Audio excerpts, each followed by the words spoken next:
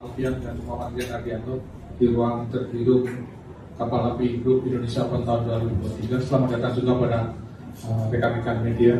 Selamat dulu kepada pasangan berjulukan Fazli ini maju ke babak delapan besar. Yang pertanyaan pertama, gimana nih perasaannya bisa bermain baik dan merebut tiket ke perempat final? Mungkin silakan lihat.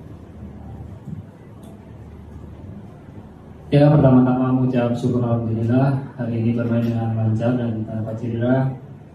Uh, untuk permainan hari ini sendiri uh, lawan juga bermain sangat baik ya. Uh, mereka mempunyai power, speed dan defense yang cukup ulet juga.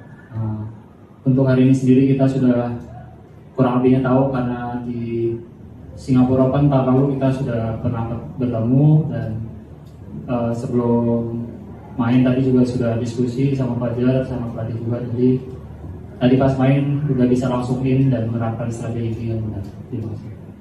Udah kawan dari Fajar sama. Hemat energi. Ada yang langsung bertanya? Silakan mungkin dari belakang. Bantu. Uh, sebelumnya selamat saya dari Andi Mario dari Metro TV sebelumnya selamat Fajri uh, lolos ke perempat final besok nah tadi disebut uh, memang sudah mengenal permainan lawan. Terlihat ketika kecolongan satu poin bisa balik dua tiga poin. Karena memang udah udah tahu strateginya. Besok lawan Nigeria di safety lebih familiar lagi.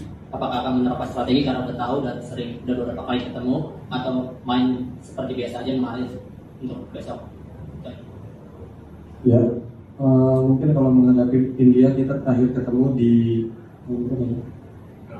udah lama ya. Kita nah, mungkin banyak perubahan juga setiap tahun, bahkan setiap bulan juga permainan uh, berbeda ya, bisa ada peningkatan.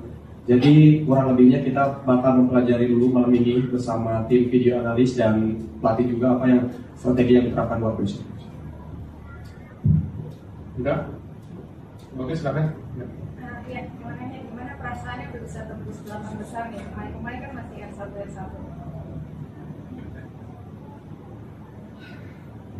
gimana ya ya alhamdulillah ya yang pasti uh, bisa melewati uh, round satu round dua dan besok kita bisa tiba di quarter final uh, yang pasti ya bersyukur tapi tidak cukup sampai di sini karena kita pengen lebih baik lagi karena uh, apalagi bisa bermain di depan publik sendiri dan mungkin kita juga belum pernah menjuarai Indonesia Open Uh, jadi salah satu pertandingan yang sangat prestisius juga dengan atmosfer yang luar biasa.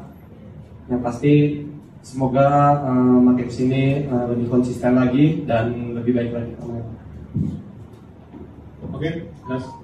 uh, buat mungkin menyambung dari yang tadi uh, setelah di dua turnamen selalu tersingkir di babak pertama dan juga menembus quarter final uh, apakah kalian merasa sudah kembali ke performa uh, terbaik kalian? Ya belum ya, karena buat setiap uh, bermain bukan alasan karena memang ada sedikit yang belum 100% belum ini ya dari beberapa gerakan juga ada yang masih kagok uh, mungkin saya atau ya juga mungkin seperti itu tapi uh, mungkin karena dukungan supporter di sini tidak berasa ya jadi ya semoga besok lebih baik lagi dan kembali lagi bahkan lebih baik lagi? Oh. Oke, okay, uh, Market dari IDM semuanya pertanyaan pengen aja sih. Kalian sebagai pasangan biasanya punya kebiasaan nggak sih sebelum bertanding? Apakah doa bareng atau salah satu harus telepon keluarga atau seperti apa? Terima kasih. Ya kalau saya yang pasti uh, jika nggak telepon juga kan nggak tahu kondisi di dalam di rumah keluarga lagi ngapain gitu kan. Kadang uh, ada chat grup uh, keluarga minta izin minta doa dan restu itu aja pak. Ya. Ya sama ya, pasti sebelum bertanding kita minta doa restu supaya diberikan kemudahan dan kelancaran. Baik. Terakhir satu di belakang, silakan. Ya, saya dari Radio Sinta di Sekirian. Selamat untuk Fajar dan Rian telah masuk ke babak 8 besar. Uh, ini dua udah dua babak main dan menang. Sebelum pertandingan ada ritual tersendiri gak sih atau ada strategi khusus sebelum maju ke babak selanjutnya ini? Terima kasih. Yang pasti kita pengen recovery ya karena dua turnamen ini juga lumayan melelahkan dan eh, fasilitas di hotel juga harus digunakan dengan baik. Jadi eh, lebih lebih ke recovery-nya lebih baik lagi dan minta vitamin mungkin ke tim dokter supaya kondisi badan lebih fit lagi karena pengaruh ya eh, setiap kali match main itu eh, kondisi pasti menurun apalagi sudah berumur Udah, satu lagi dukungan penonton seperti apa tuh dampak positifnya bagi seorang Fajar dan dia Ya pastinya sangat luar biasa ya. Uh, Apalagi hari ini juga keluarga saya datang mendukung langsung dari Jogja. Jadi uh, menambah motivasi saya juga dan Fajar semoga besok bisa bermain nanti tulus dan bermain. Terima kasih. Pertama, Fajar dukungan penonton Oh, ya dukungan penonton yang pasti eh, menambah percaya diri ya, percaya diri buat eh, kami berdua dan hmm, apa ya kayak jiwa pengen menang itu lebih karena dukungan supporter itu sendiri. Baik, terima kasih.